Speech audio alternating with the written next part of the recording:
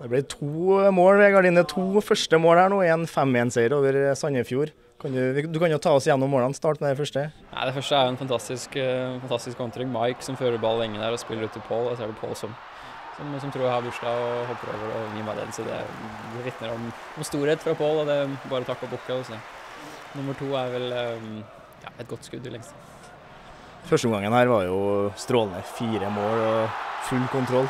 Det, hvordan er det å spille fotball oppe her når, det glir så godt? Nei, det er gøy, selvfølgelig. selvfølgelig. Vi, er, vi, er, veldig solide både offensivt og defensivt. Skårer noen fantastiske mål. og Da, da flyter det bra. Jeg syns annen gang er, da river jeg av. og Vi er ja, solide og skårer også et, et, pent mål. Så er det surt selvfølgelig å, å få en baklengs der. Det hadde vært enda penere med 5-0, men det ser, ser, bra ut. og Vi ser, um, ja, ser som vi er bra shape inn mot onsdagen.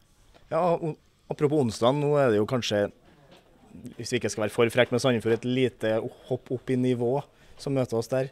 Hvor forberedt er vi på det? Ja, nei, Det er nok et knepp opp. men Vi skal se en del på video nå, så skal vi bli så godt forberedt som vi kan, kan få blitt. Og så skal vi eh, først få den kampen her ut av, ut av kropp og ut av hodet, og så skal vi se litt på Dundalk, og så kommer det til å bli, bli spennende på onsdag. Gratulerer med dine to første for Rosenborg. Takk for det.